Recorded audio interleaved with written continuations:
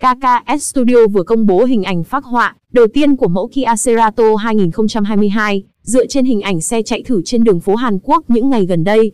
KKS là một studio tại Hàn Quốc, chuyên phác họa hình ảnh xe mới tại xứ sở Kim Chi. Hãng từng gây chú ý khi phác họa gần như chính xác Hyundai Tucson thế hệ thứ tư. So với hình ảnh xe chạy thử, dễ dàng nhận ra bản phác họa Kia Cerato 2022 của KKS Studio, có nhiều điểm tương đồng. Từ giải đèn định vị ban ngày kép, đèn pha led dạng xếp lớp cho đến lưới tản nhiệt mũi hồi nhỏ hơn. Xe vẫn có hai hốc gió hai bên, nhưng đặt lại vị trí của giải đèn sương mù. Và nhiều khả năng, Cerato 2022 sẽ là một trong những mẫu xe đầu tiên sử dụng logo Kia mới. Nhìn chung, Kia Cerato 2022 lấy nhiều cảm hứng từ đàn anh Optima, dự kiến bắt đầu sản xuất từ tháng 5 năm nay.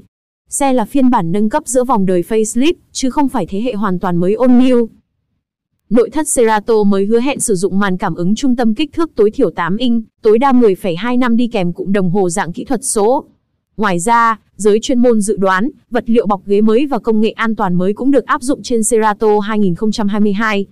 Bên dưới khoang động cơ Cerato nhiều khả năng có những sự thay đổi nhất định, tùy chọn động cơ 1.5 hoặc 1.6 turbo cải tiến. Nếu muốn, Kia hoàn toàn có thể sử dụng động cơ hiệu suất cao cho một bản GT thể thao. Hộp số sẽ có thêm tùy chọn hộp số sàn thông minh IMT có hoặc không có chân côn. Tại thị trường Việt Nam, Kia Cerato thuộc phân khúc sedan hạng C, cạnh tranh trực tiếp với Mazda, Honda Civic, Toyota Corolla, Cross và Hyundai Elantra.